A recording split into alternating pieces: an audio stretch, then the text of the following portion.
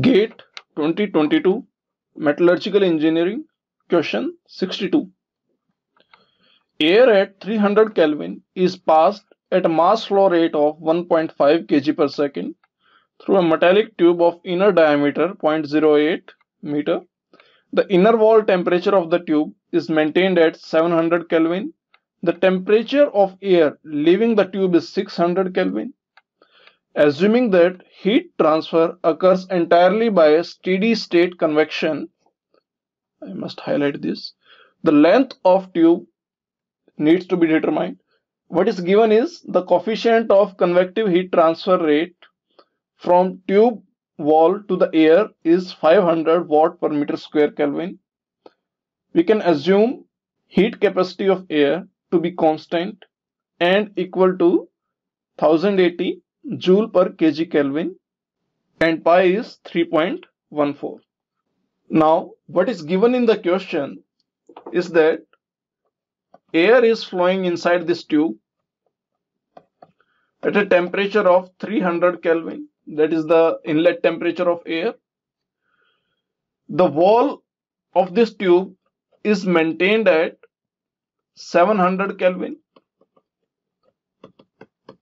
that is wall is maintained at 700 Kelvin. The air leaves the tube at 600 Kelvin. This is T inlet, this is T outlet. Fine. And the mass flow rate of air is given to be 1.5 kg per second. Now the heat is transferring from the tube wall to the air by the mode of convection okay where the value of h is given to be 500 watt per meter square kelvin okay. There are certain assumptions that we need to make in this problem. The first assumption is it is a steady flow by steady flow i mean the mass flow rate does not change. Second is the air property like temperature velocity it remains constant at inlet and outlet. Next is the kinetic and potential energy changes are negligible. Last but not the least there is no heat loss to the surrounding. Okay that means the all the heat transfer is occurring between the pipe and the gas only. Fine. With these assumptions I will write down the energy balance equation. Okay? Because we have to conserve energy. Energy conservation principle shall be followed. Whatever heat that is given by the tube is passed on to the air. Okay so and it is passed on by the mode of convection. Heat is passed on to the air and it is equal to and this heat that is picked up by the air is going to rise its internal energy by this equation mcp dt by d tau.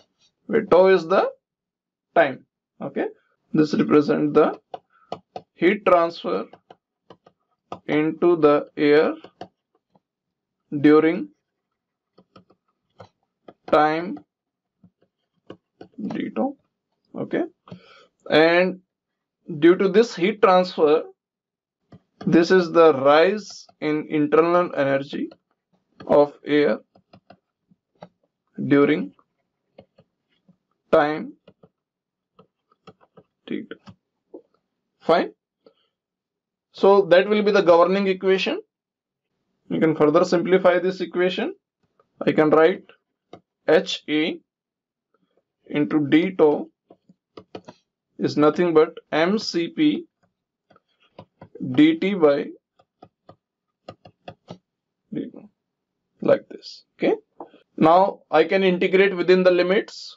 Now what are the limits?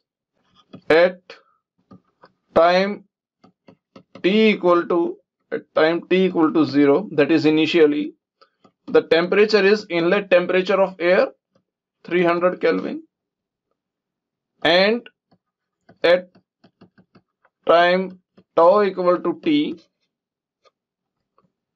the temperature of air after time T seconds the temperature of air is T out that is 600 Kelvin. Okay?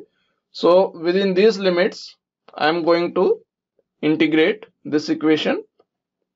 I am going to integrate this equation within these limits. T initial temperature out temperature in inlet from 0 to time T.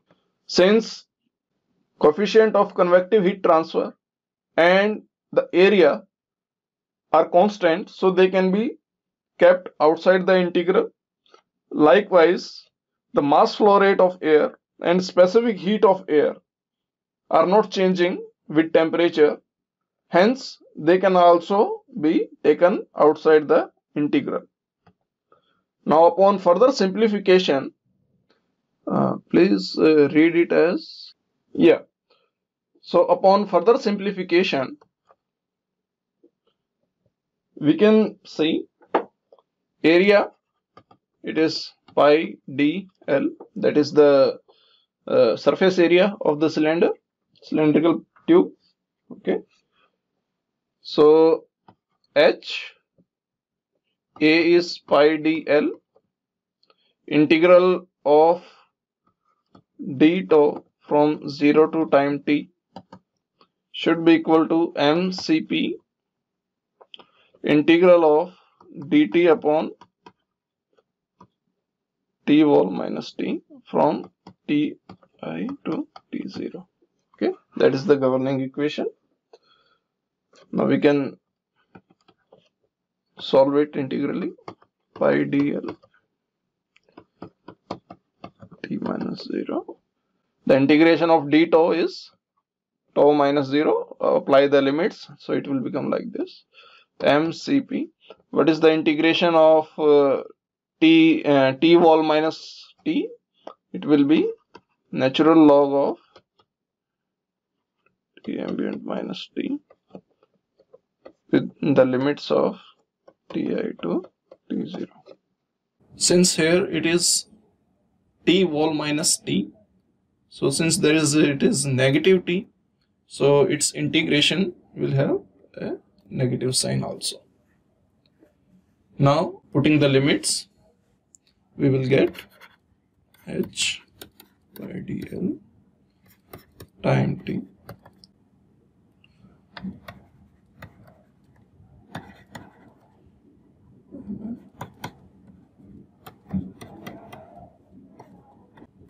We can take time on the other side.